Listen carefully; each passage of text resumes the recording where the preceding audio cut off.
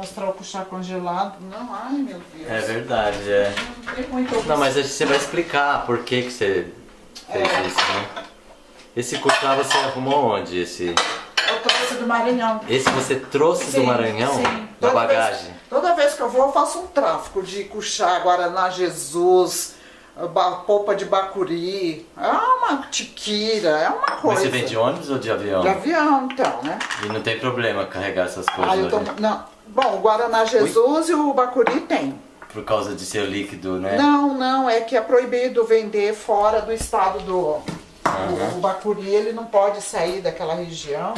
Esse aqui é o cuchá, já está processado, né? Fazer Você quer explicar o que é o cuchá agora ou te atrapalha aí? Você tá... O cuchá é uma, uma erva maranhense, né? Que é consumida lá como. Que nem se fosse um hibisco, né? Para as pessoas entenderem. Eu vou tentar achar na internet uma foto e colocar nessa hora aqui. É, ele é da família do hibisco, mas a folha é totalmente diferente. Uhum.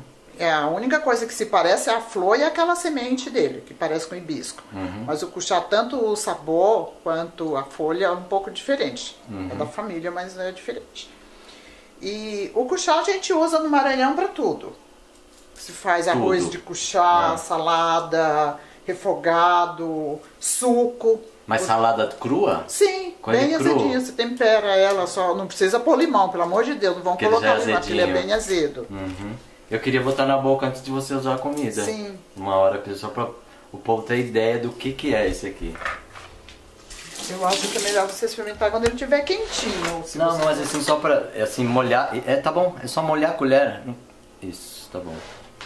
Aqui, ó, gente, eu vou experimentar um tantinho. Nossa, é uma delícia. É, é muito saboroso. Ele é muito saboroso. É um sabor único. E gosto. você já tirou o azedo dele ou é Já, esse? já tirei. Ah, E ele é mais né, azedo Ele é mais ainda. azedo. Eu já tirei. Mas ele dá um gosto muito especial na comida. Sim. Com certeza. Muito bom. Você vai experimentar, você vai gostar. Hum, que coisa gostosa, gente. E você já tentou trazer esse cuchá para São Paulo Sim, já plantei, já, já plantei. A semente que vem de lá, ela fica, ela pega aqui, fica boa. Hum. De muda não pega? De galinho? Não, não. Não é nasce? semente, não. Tem que ser semente. É semente.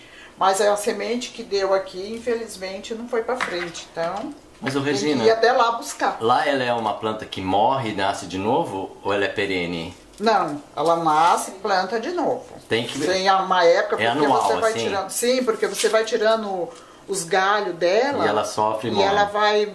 Ela brota durante um tempo, mas aí quando ela vai ficando mais velha, os galhos, as folhas vão ficando muito duras. Uhum. Então todo ano planta cuchá, todo, praticamente todo mês, né? Mas a Porque tem povo um planta ou nasce sozinho? Algum lugar já nasce sozinha, cai a semente, mas ela não é uma planta que vai nascer se cuidar sozinha. Tem Tá. que ter um cuidado com ela. E, e que tamanho que é o arbusto? Ou é uma árvore já? Não, é Pequenininho. pequenininho. Sim, é baixinho. Ah, Sim. o que? Dá um É. quase um metro de altura no máximo? É, nem isso. Nem isso. Então, Então é uma erva mesmo. Sim, é uma erva. Uhum. Legal.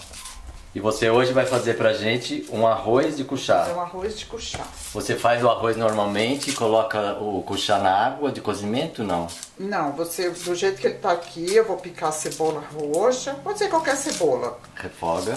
Um pouco de alho, refoga, aí você joga o cuchá, dá aquela e mistura com o arroz e coloca pra cozinhar junto, como se fosse um risoto. Como se fosse um risoto. Sim, sim. Tá, mas ele fica mais que ele sequinho. fica mais soltinho. Soltinho, tá? Não fica aquele... Sim. Aham. É, com esses arroz industrializados ele fica soltinho, porque lá no Maranhão é difícil. Por Porque é quê? arroz socado no pilão, então tem muito amido. Uhum. Então ele quase nunca fica soltinho. Tem que ser uma boa cozinheira. E, e esse aí você é, trouxe lá do Maranhão, você é, pilou ele pra ficar desse jeito ou bateu no liquidificador a O folha? o- O cuchá, Não, você bate com a faca. Bate com a faca. Sim, até ele ficar bem moidinho. E aí você guardou no congelador pra quando Aí você eu quer guardo, eu usar. faço assim, algum tempo eu eu fico, porque quando eu quero usar, porque ele não aguenta e desidratado também não dá certo. Não dá certo? Não. Ele perde o sabor? Perde o sabor. Ah, olha Perde o só. sabor e não dá certo. Então, E o cuchá é medicinal também? Ou ele é só usado na culinária? ele é usado só na culinária, mas ele é bem rico em ferro, já olhou na... sim, sim, vitamina C, então. Falo que a sobrevivência do maranhense é o coco babaçu e o, e o cuchá. E o cuchá, olha Você tem só. essas duas coisas, pronto. Que madeira será que é isso, hein? Ai, não faço a menor ideia, mas eu sei que é uma madeira boa, porque eu já coloquei ele uma vez pra secar no fogo, quase pegou fogo aqui, ó. Ainda bem que eu vi a tempo. Ah, você botou pra secar no fogo. É, a pessoa não pensa, né? É. Acende o fogo, põe o pilão pra secar e sai. Sentiu o cheiro de queimado, sai correndo. Legal. Pastinha aqui, ó. Pastinha de alho. É Ai. diferente, né? Quando a gente faz Ah, você quer hora. fazer um, uma pasta de alho do jeito que tá aqui? Você pega a manteiga da dona Dita Hum. e soca junto. Passa no, a- no pão. Ah, e passa no pão direto. Nossa, muito Sem bom. a, a- com a manteiga, né? Com a manteiga. Uhum. Nunca mais você vai querer comer pão de alho industrializado, aquele negócio Ah, mas nojento, aquilo é né? horrível, com, deve ter conservante. É. Aquilo é muito ruim. Eu pretendo fazer um peixinho pra gente, então eu vou deixar a cebola roxa que ela é mais apropriada pro peixe. Bom, então agora na hora que você for preparar o arroz, aí você me chama. Tá bom. Tá bom? Tá joia. Opa, vamos fazer o arroz de cuchá agora, né? Arroz de cuchá. Aqui tem alho, cebola, Uhum. fiozinho de azeite. Se tivesse no Maranhão seria azeite de coco, mas não estou no Maranhão, vamos usar azeite comum. Então alho, cebola picado e socado? Não, o, o alho, socado, né? É, o alho que E socou na hora. picada. Sim, E era assim que você fazia no Maranhão? assim que fazia no Maranhão. Panela de barro. Panela de, de ferro. Lá era de ferro? É, a gente usava panela de ferro. Vocês não faziam panela de barro lá? Não. Não. Não, panela de ferro. Aquela panela de ferro que tinha os pezinhos para segurar no fogão a Sim, lenha. Sim. Era fogão a lenha com chapa mesmo, aquela chapa? Não, fogão a lenha para usar, que se chama fogareiro lá, que usa lenha e pode usar carvão também Ah, é? para fazer comida. Mas então a panela ficava pendurada? Não, Como era ficava em cima, porque o fogareiro ele é feito um fogão de barro, de um fogão a lenha, né? Ah. E com várias bocas redondas o suficiente para você colocar o fundo da panela. O fogo vai direto na panela. Mas, dire- mas então não tem uma chapa de Não, metal? não. Era os buracos. Era os buracos mesmo. A gente assava o peixe no carvão mesmo, direto ali, como se fosse fazer um churrasco. Mas peraí, esses buracos eram comunicados, o fogo comunicava por baixo não? Sim. Ah, e como é que ficava parado aqueles buracos assim, não desmoronava? Será que tinha pedra? Porque é um barro assado, né? Você faz o barro, a, a massa, a argila, né? Você faz, depois que ele queima, ele dura uma vida. Vira uma vida. Vai rachando, você vai rebocando. Vai rebocando isso.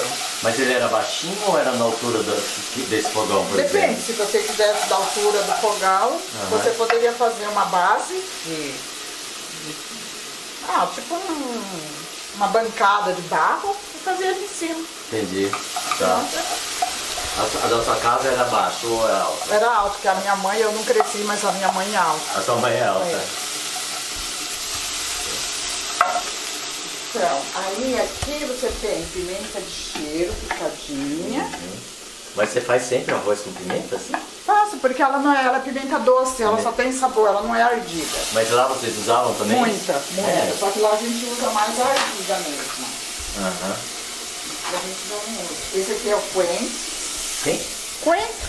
Coentro? Sim, tem que ter coentro no arroz de puxar. Mas e esse coentro aí, onde você arrumou? Você tinha ele fresco eu tenho aqui, tem. Você compra Eu ele? compro aqui, você acha fácil.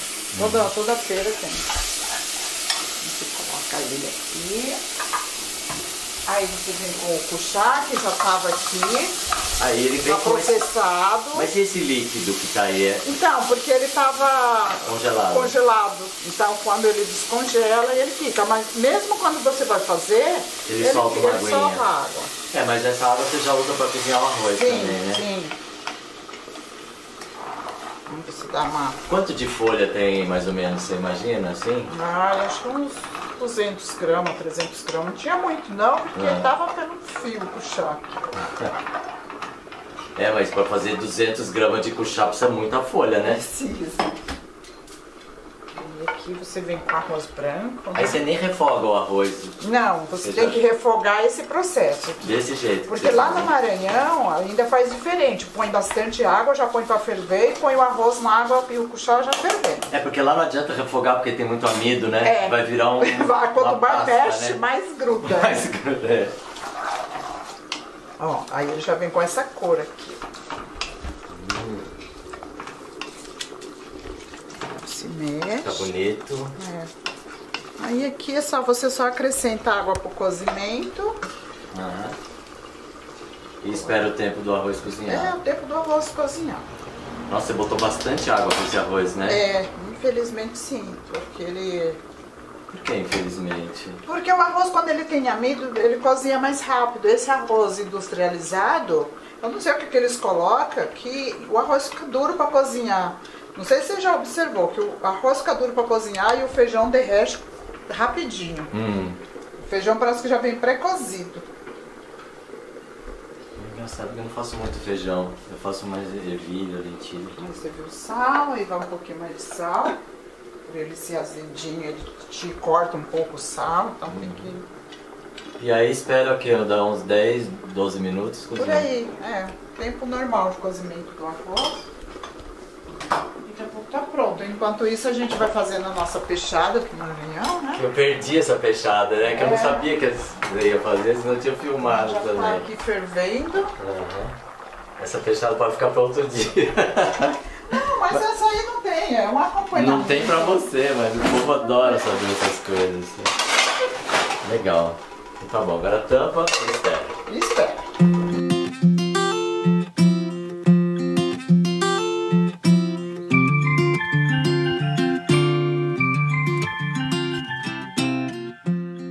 Não, senta aí, Simão. Sim. Sim, você assim. Você não serve? Sim, Então tá. Já tá filmando, né? Tá filmando, tá? Ah, Agora eu vou experimentar primeiro só o arroz, porque se você botar esse sim. coisa assim. Pessoal, agora depois de pronto o arroz de cuchá, eu vou experimentar pra vocês um prato que eu acho que a maioria nunca nem ouviu falar, né? O cheiro nada parecido que eu conheço.